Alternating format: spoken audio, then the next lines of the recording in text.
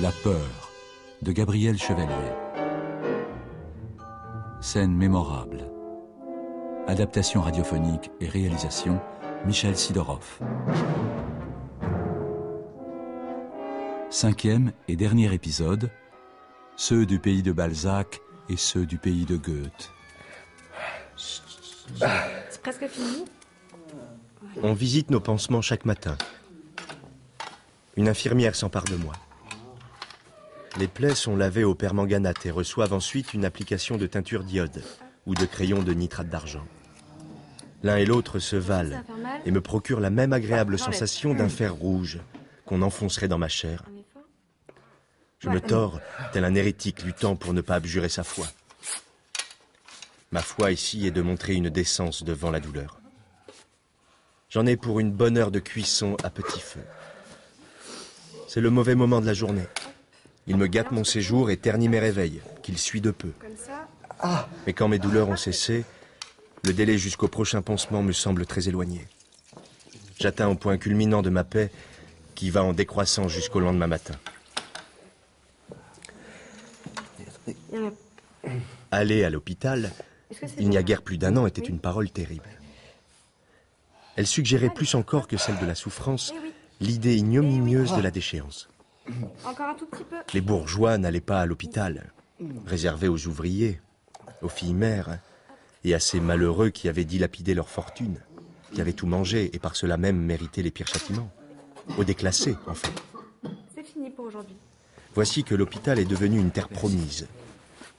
Il représente pour des millions d'hommes le suprême espoir.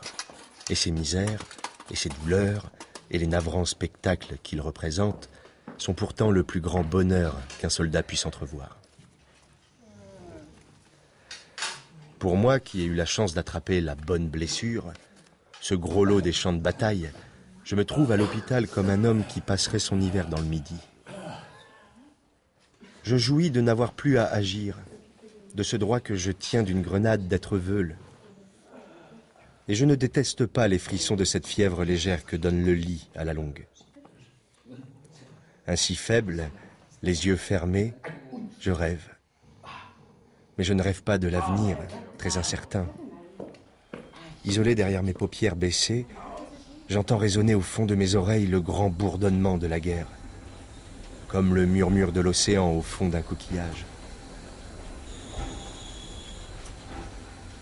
Mes plaies étant cicatrisées, le moment est venu où j'ai dû quitter les infirmières de cette salle 11 de l'institution Saint-Gilbert, dans laquelle j'ai passé les meilleures journées de ma vie de soldat. L'infirmière chef m'a recommandé Écrivez-nous. Nous aimons suivre nos blessés après qu'ils nous ont quittés. Et s'il vous arrive malheur une seconde fois, venez nous retrouver. Nègre m'a dit simplement avec une gravité inaccoutumée Tâche de sauver tes os.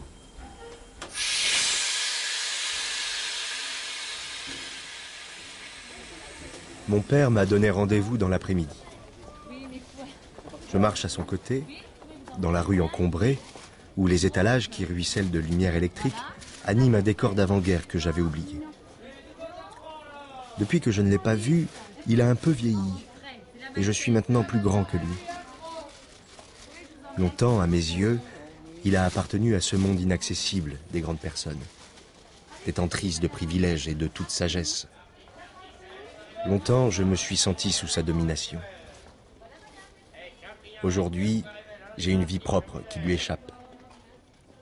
Nos forces s'équilibrant, nous sommes cordiaux l'un pour l'autre.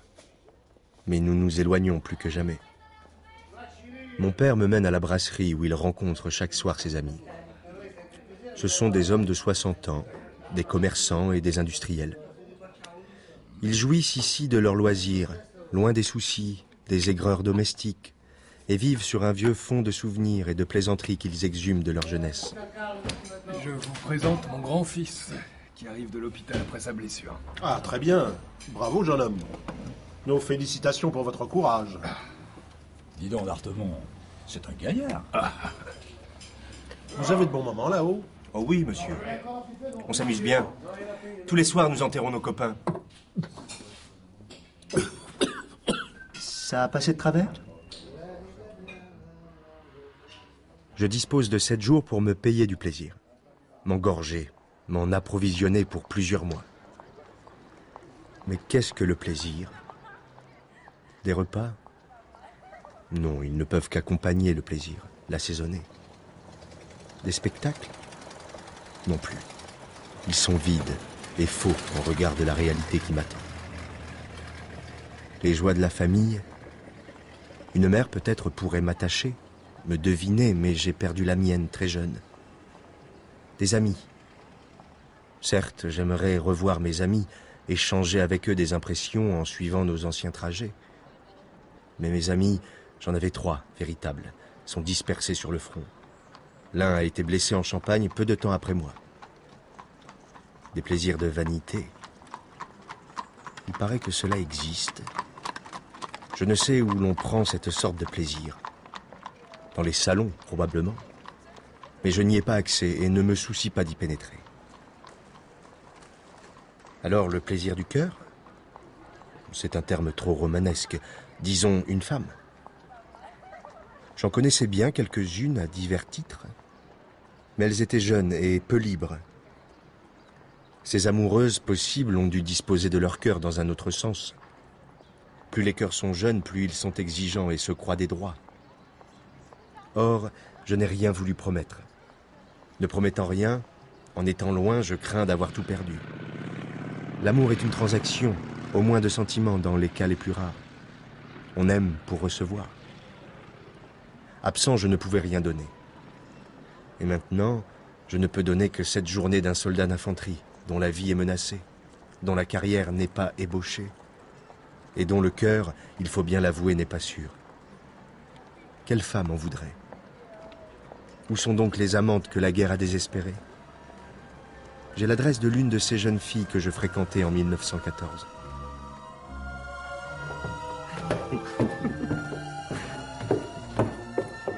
J'ai rencontré Germaine D.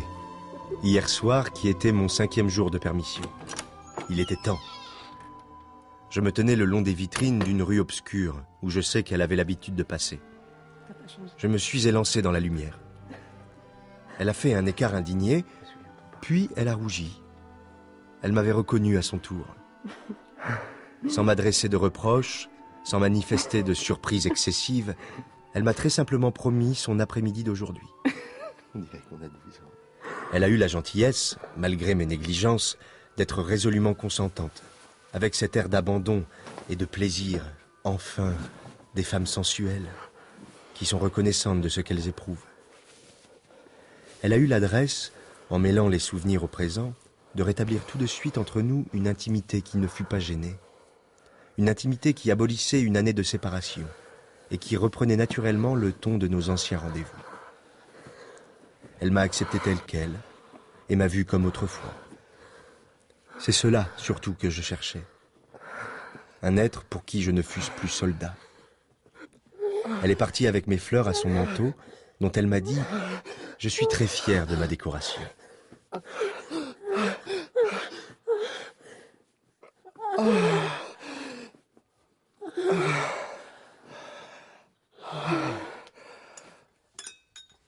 Les pires bouleversements sont impuissants à changer le caractère des êtres.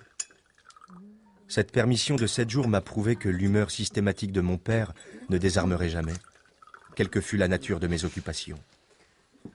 Que puis-je de plus aujourd'hui qu'être soldat Il est juste de dire que je suis un héros mécontent.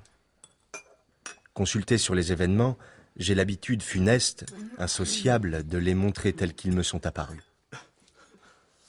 Ce goût de la vérité est incompatible avec les usages policés. Les milieux où l'on m'a reçu et fêté attendaient de moi que je justifiasse leur quiétude par mon optimisme, que je montrasse ce mépris pour l'ennemi, les dangers et les fatigues, cette bonne humeur, cet esprit d'entreprise qui sont légendaires et caractérisent le troupier français, tel qu'on le voit dans les almanachs, coquet et souriant sous la mitraille. J'ai bien senti qu'il eût été poli, lorsqu'on m'offrait un excellent repas dans une maison luxueuse, de mettre tout le monde à l'aise en déclarant que nous faisions notre affaire de la victoire, et que tout, là-haut, se passait très gaiement. Mais je n'ai pas relaté d'exploits dont les Allemands eussent fait tous les frais. J'ai glacé les conversations les plus habiles. je me suis conduit en individu mal élevé. Je me suis rendu insupportable. Et l'on me voit partir sans regret.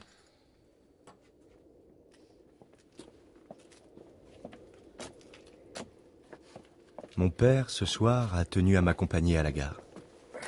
Nous n'avons pas grand-chose à nous dire. Nous nous promenons sur le quai en attendant le train dans les courants d'air. Mon père craint les courants d'air. Il a relevé le col de son par-dessus et je le vois impatient. Pars donc. À quoi bon prendre froid pour quelques minutes qui ne changeront rien? Mais non, mais non. Nous sommes côte à côte, mais nos pensées sont très éloignées. Un père et un fils? Oui, sans doute. Mais surtout, un homme de l'avant et un homme de l'arrière. Toute la guerre nous sépare. La guerre que je connais et qu'il ignore.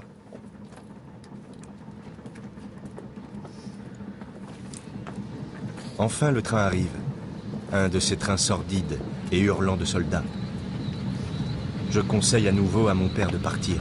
Oui, en effet, tu seras mieux avec tes camarades. Et tâche donc d'attraper un bout de galon. Je tâcherai. Allons, adieu. À bientôt, j'espère.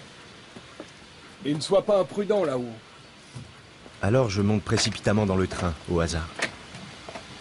Le wagon m'envoie à la figure son haleine chaude et ignoble, son haleine d'ivrogne. J'enjambe des corps et mon installation provoque des grognements. Je rentre dans la guerre.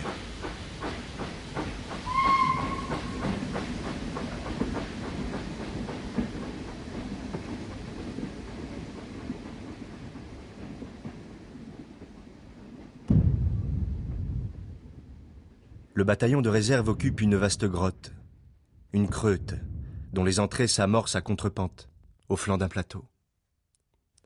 À nos pieds, une vallée, des champs, une forêt, et en arrière, un canal. Nous alternons en ligne, entre deux secteurs qui ne sont pas dévastés, mais recouverts d'herbes sauvages. L'avenir paraît sans issue. Chaque jour, des hommes tombent. Chaque jour, la conviction de notre chance diminue. Tout ici est concerté pour tuer. La terre est prête pour nous recevoir. Les coups sont prêts pour nous atteindre. Les points de chute sont fixés dans le temps et dans l'espace, comme sont fixés les trajets de notre destinée, qui nous conduira infailliblement au lieu de la rencontre. Et cependant nous voulons vivre, et notre force morale s'emploie uniquement à imposer silence à la raison. Nous savons bien que la mort n'immortalise pas un être dans la mémoire des vivants. Elle simplement.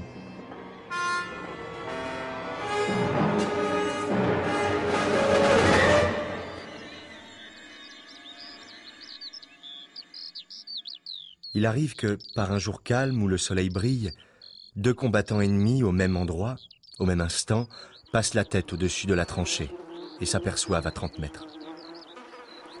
Le soldat bleu et le soldat gris s'assurent prudemment de leur loyauté mutuelle, puis ils esquissent un sourire et se regardent avec étonnement, comme pour se demander Qu'est-ce qu'on fout là?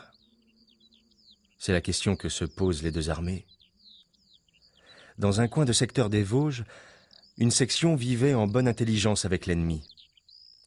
Chaque clan vaquait à ses occupations sans se cacher et saluait cordialement le clan adverse. Tout le monde prenait l'air librement, et les projectiles consistaient en boules de pain et en paquets de tabac. Une ou deux fois par jour, un Allemand annonçait Offizier pour signaler une ronde de ses chefs. Cela voulait dire Attention, nous allons peut-être nous trouver dans l'obligation de vous envoyer quelques grenades. Ils prévinrent même d'un coup de main et l'information fut reconnue exacte. Puis la chose s'ébruita. L'arrière prescrivit une enquête, on parla de trahison, de conseil de guerre, et des sous-officiers furent cassés. On semblait craindre que les soldats se misent d'accord pour terminer la guerre, à la barbe des généraux. Il paraît que ce dénouement eût été monstrueux. Il ne faut pas que la haine s'apaise. Tel est l'ordre. Malgré tout, la nôtre manque de flamme.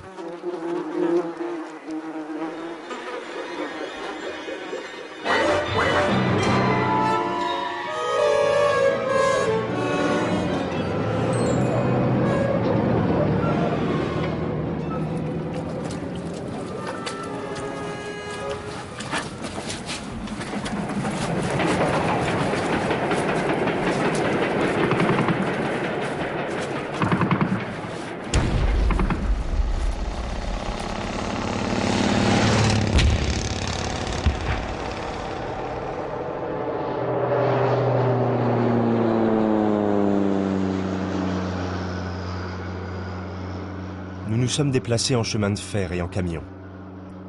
Quelques jours après avoir quitté la Champagne, nous avons retrouvé les montagnes de l'Est. Aussitôt, nous avons repris les lignes. Les soldats qui venaient d'attaquer sont déjà au créneau, ont déjà résisté à un coup de main allemand qui nous a accueillis. Pour l'homme de l'escouade, la guerre continue sans aucun repos, avec ses longues heures de garde et ses dangers imprévus.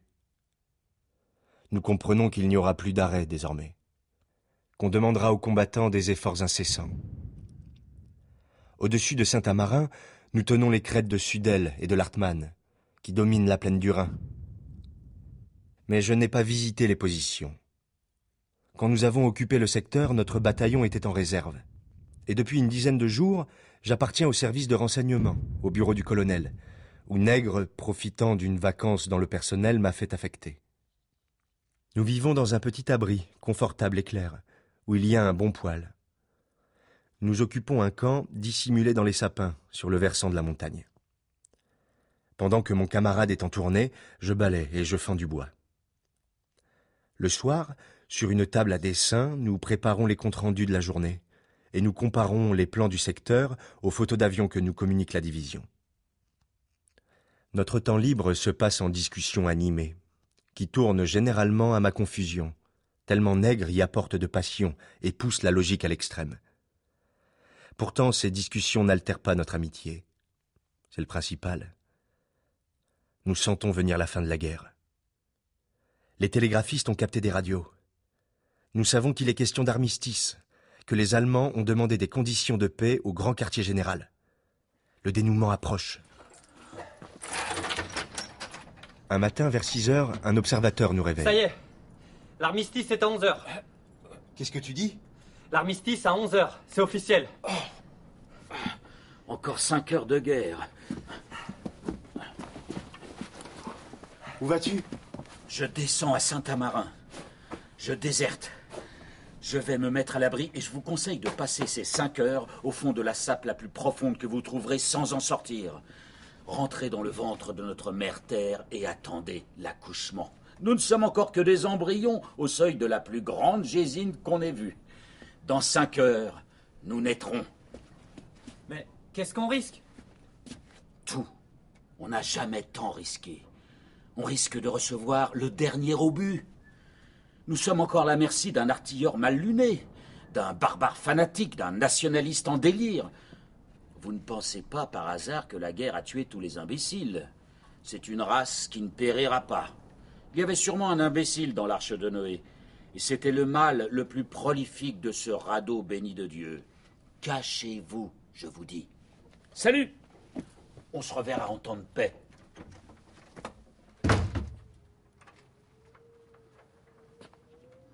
Au fond, il a raison. Eh bien, reste avec moi. Ici, on ne craint pas grand-chose.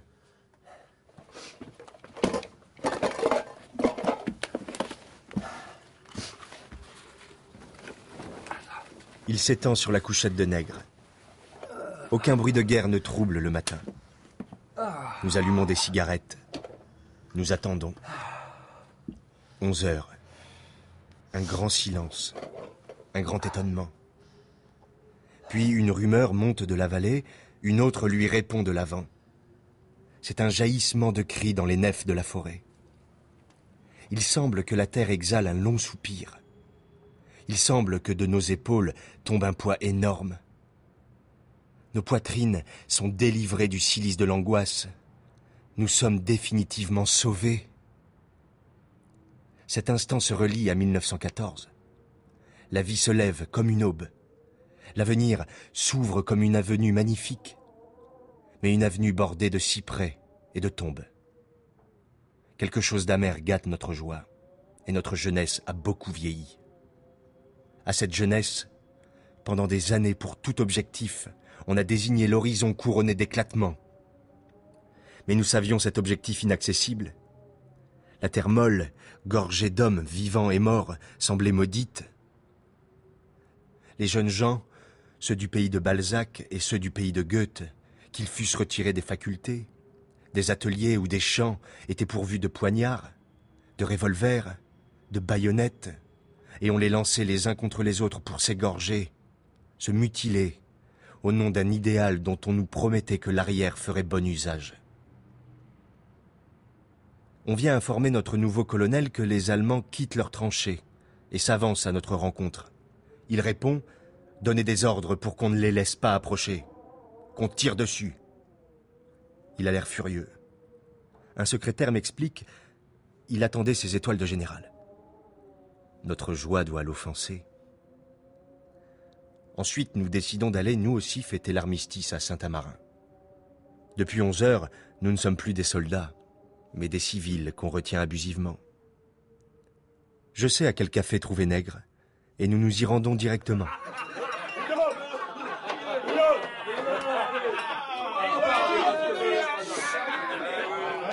Et, et, et, le 1561e jour de l'ère jusqu'au boutiste, ils ressuscitèrent d'entre les morts, couverts de poux et de gloire. Soldats, je vous félicite. Vous avez atteint votre objectif. La fuite Vive la fuite Nègre Nègre Que pense le général de Poculotte des événements? Ah, c'est une autre affaire. Tu sais que je l'ai vu. À 11 heures précises, je m'annonçais chez le baron. Il y a cinq ans que j'attendais ce moment. Il l'a pris de haut. Oh, vous désirez, sergent? Mais je l'ai calmé. Mon cher général, je viens vous informer que désormais nous nous passerons de vos services et nous laisserons à la Providence le soin de remplir les cimetières. Nous vous informons encore que notre vie durant, nous aimerions ne plus entendre parler de vous, ni de vos estimables collègues. Nous voulons qu'on nous foute la paix. La paix.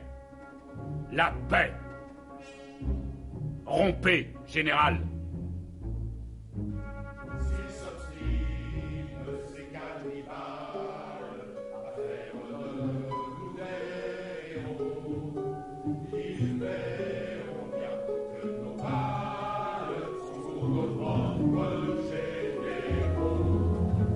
C'était La peur de Gabriel Chevalier, scène mémorable. Cinquième et dernier épisode.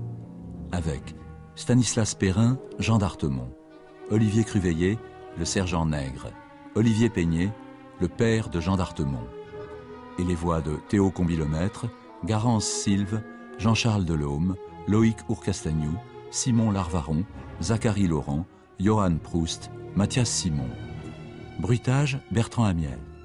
Prise de son, montage et mixage, Olivier Dupré, Lidwin Caron.